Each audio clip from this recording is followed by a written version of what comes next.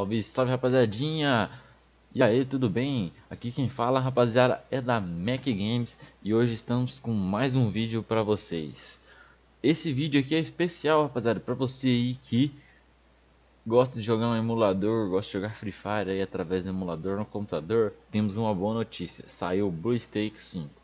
E nesse vídeo hoje estaremos trazendo para você aí como baixar e configurar seu BlueStacks 5 aí para estar jogando Free Fire. Então, bora que bora. Dando sequência, rapaziada, a gente vai entrar aí no navegador de vocês aí, independente o navegador, coloque ali download BlueStacks 5, só que escreve certo, né, que eu sou meio português tá falha. Vai aparecer aqui, rapaziada, app Android mais rápido para PC BlueStacks 5. É esse aqui. Clicando nesse, vocês vão ser redirecionados para o site do BlueStakes, rapaziada. Daí, a partir daqui, é fácil, fácil. Dando sequência, rapaziada, vocês clicam aqui em baixar BlueStakes. Apertando aqui, podem ver que vai começar o download já. Vai começar o download, terminou, vai aparecer aqui, abrir arquivo. Você aperta em abrir. Esse aqui é o instalador, rapaziada. Vai pedir para vocês verem a verificação. Corrigem, diz que assim. Coloca assim. Nova versão mais rápida da atualização. Você vai lá e faz a todo o processo aí de download. Espera carregar, vou cortar essa parte. É, rapaziada, abrindo o Free Fire de vocês, ele vai carregar aí normalmente. Pode ver que agora o emulador veio um pouquinho diferente, né? Com as configurações um pouco mais mudadas, né? Tá aqui, ó, carregando. Beleza, entrou aí na sua conta, né, da Free Fire, entra aí. Agora eu vou ensinar vocês aí a configurar, né, rapaziada, a parte mais difícil, a HUD. Fechar aqui tudo isso aqui.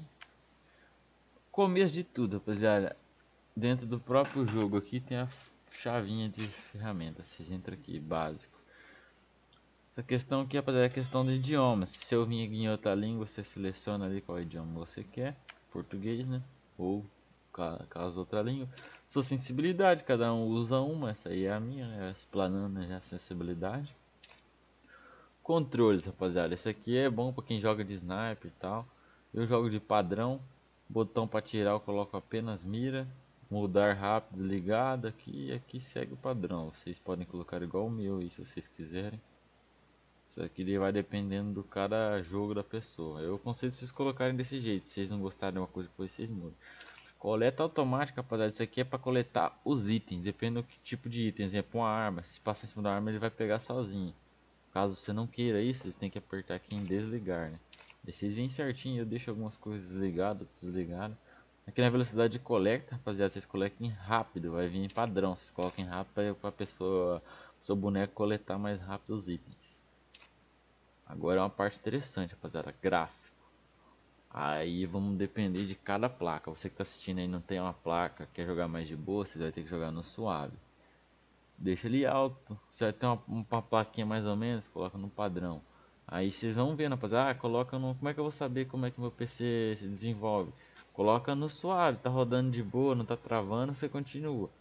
Se colocar no padrão, ver que começou a travar, não, fala, ah, acho que tá travando demais, tá atrapalhando minha jogabilidade, eu volto pro suave. E eu que tenho uma placa mais ou menos, eu deixo no ultra. Também o Free Fire não exige muito, rapaziada, então provavelmente vocês vão conseguir jogar também.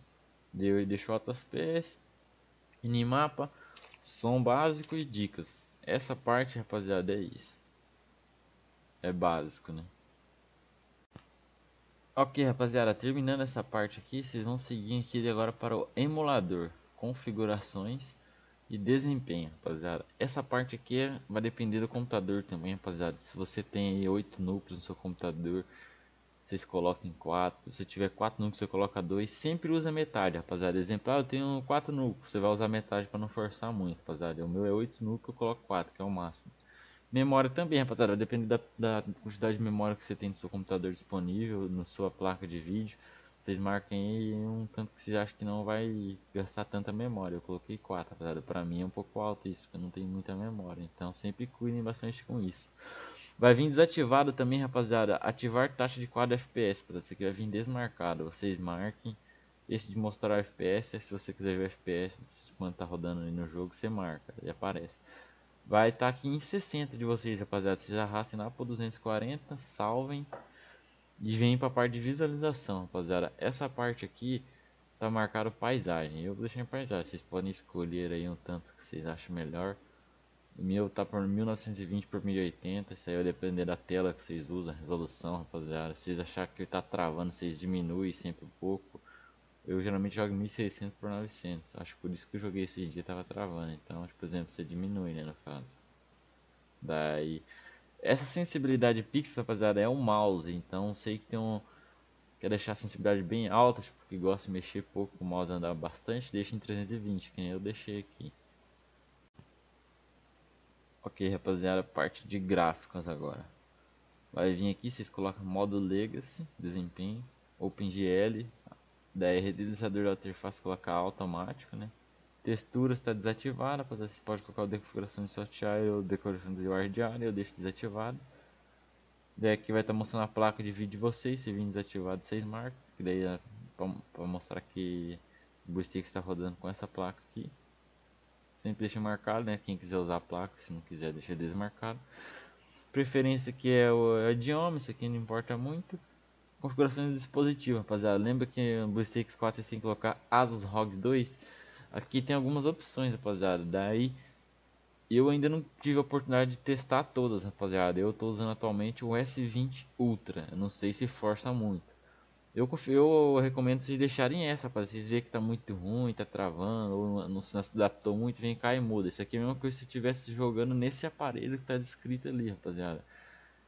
Daí, exemplo, eu tô jogando um S20 Ultra, entendeu? Daí eu marquei um S20 Ultra. Se você dizer que tá jogando um Galaxy, é qual, de qual celular dispositivo o emulador vai estar puxando.